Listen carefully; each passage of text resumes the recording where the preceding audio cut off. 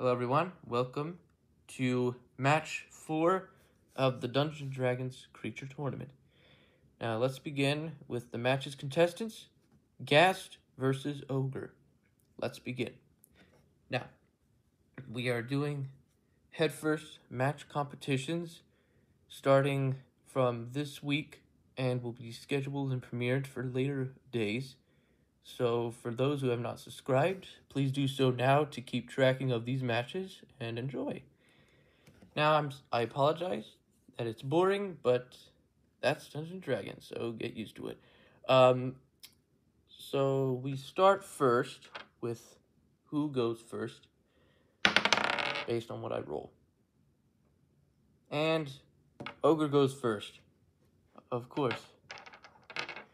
Rolled a 15, so of course Ogre goes first. Um, uh, what else? So let's, start with Ogre. Uh, roll to attack. 17, which obviously hits. Ogre will uh, will grab its stone-made club, heavy enough where it will deal. Wow, that's crazy. 2d8 plus its strength modifier. So that would be 6 plus 3, 9. plus 4, which will obviously be 13. So, uh, got calculator.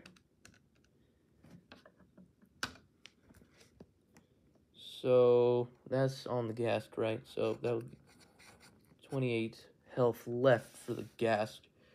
So, for those of you who don't know what a ghast is, of course, the tall, lanky, undead white creature with a drooping pink, wormish like tongue drooping below its body, and pointed ears, and all that.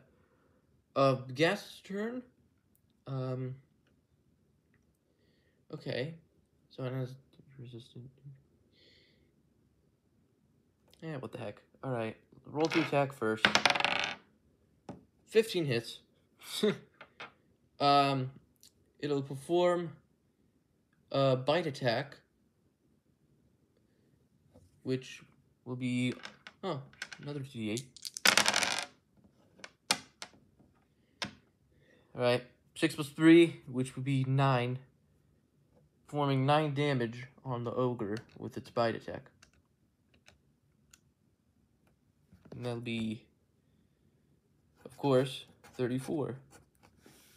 It sinks its enormous teeth into the what appears to be the arm in which the ogre had used with its great club swinging, and the ghast attacks striking next, which of course is the first six seconds of the battle.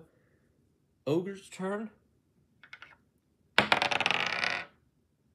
guys probably don't see that. That's a 17.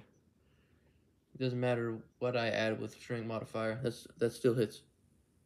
Um Ogre will perform a javelin attack, will remove a giant spear-like weapon, and will run a few 20, 40 feet away from the ghast, and as it does, it shall throw the javelin a few 30 feet from it.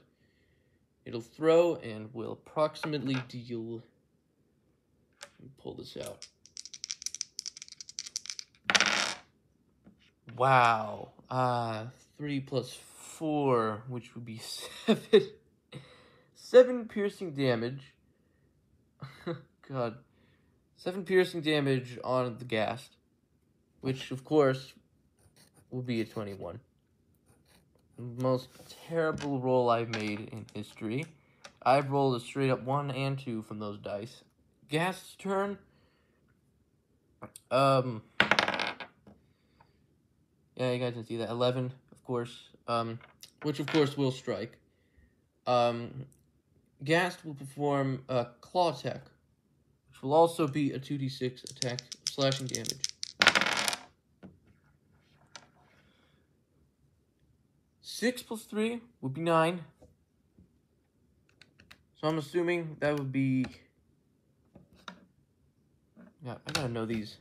25 left, and it also says Ogre. Target is creature other than dead. Fake. DC 10 Constitution saving throw would be for one minute, which I am keeping track of. So, shoot, I rolled that. Yeah, that, that's a that's a natural two. I didn't do good as planned. Um.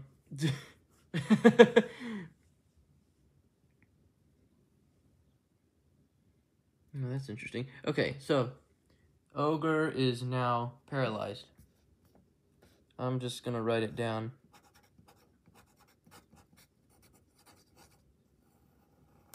It is now paralyzed under the ghast's claw attack, the slash of blood. Okay, well that makes sense. Uh, now, I'm assuming that 12 seconds have passed, I'm assuming. I'm trying to keep track of it. Ogre's turn again. It is paralyzed, meaning what? Uh, those of you who do not know, I have handbook literally right next to my butt. Right here, uh, paralyzed creature. Oh, that's interesting. Can't move or speak.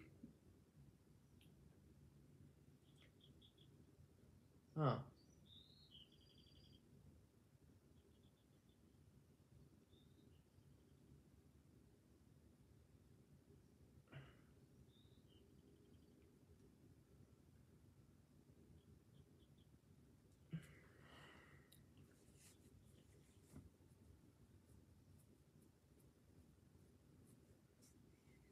Oh, that's that's pretty bad.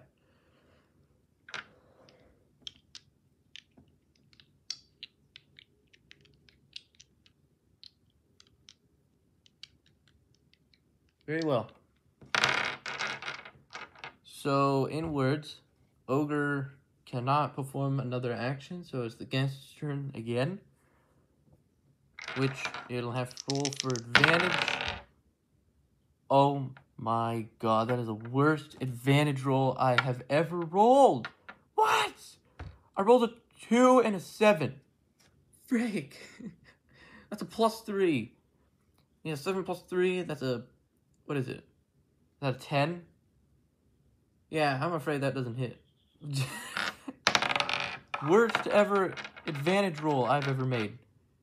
Uh, Ogre is also skipped still because he's still paralyzed. Is there a way that this effect can end? Oh, it can't. Oh, well, I mean, it could... It could... Hold up. Uh...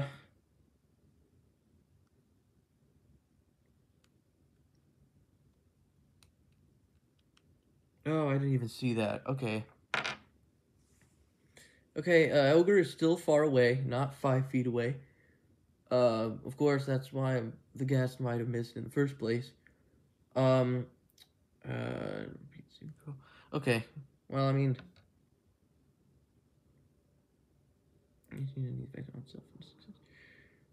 okay, at the end of each of his turns. Okay, well, I mean, the ogre doesn't do much.